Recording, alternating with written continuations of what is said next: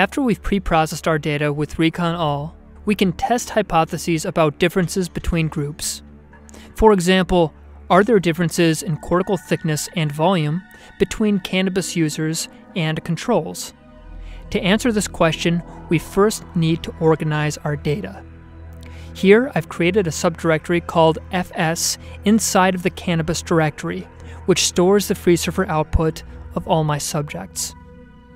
To make sure the commands run without errors, you will need to specify subjects.dir as the present working directory, and also copy fsaverage from subjects.dir to the current directory. From the directory containing your subject's data, type cp capital R dollar sign freesurfer home slash subjects slash fsaverage and then a dot. Then type set env subjects underscore dir in backticks pwd. Also create directories called fsgd and contrasts. We'll be using them later. For group level analyses, we will also need to make a file called the FreeSurfer Group Descriptor File, or FSGD for short. This dataset comes with a file called participants.tsv, which contains the subject IDs, as well as information about participant gender, age, and individual difference scores, such as questionnaires. Make a copy of this file and put it in the FSGD folder.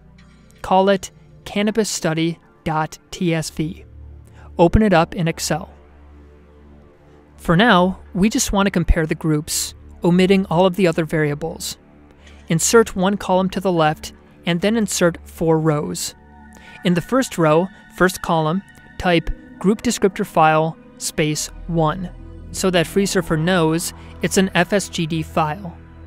In the second row, type title space cannabis study. For future studies, replace cannabis study with the title of your study. Next, we need to specify our groups, which FreeSurfer calls classes. In the third row, type class HC, and in the fourth row, type class CB. If we had a third group, we would create another row for another class. Now remove all the headers and remove all the columns except for subject ID and group. In the empty cells of the first column, type input. The second column is a list of all the subjects, which in our case have the prefix sub dash in front of them. Replace the values in this cell with sub dash and then the number.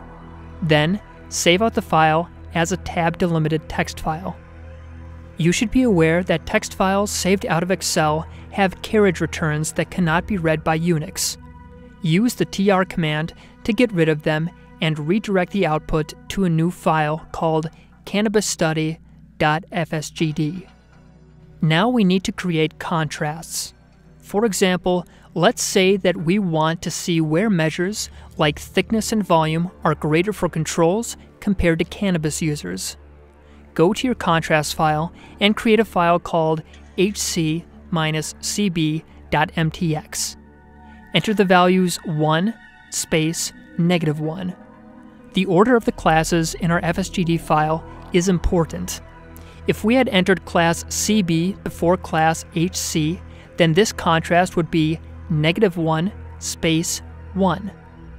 Create another contrast file called cb-hc.mtx and enter the values negative 1, space 1. Mathematically, this is identical to the first contrast, but with the sign flipped. We now have everything we need to run our group level analysis.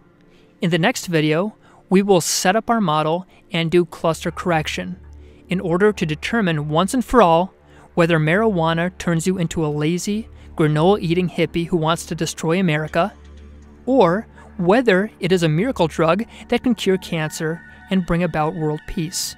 Stay tuned.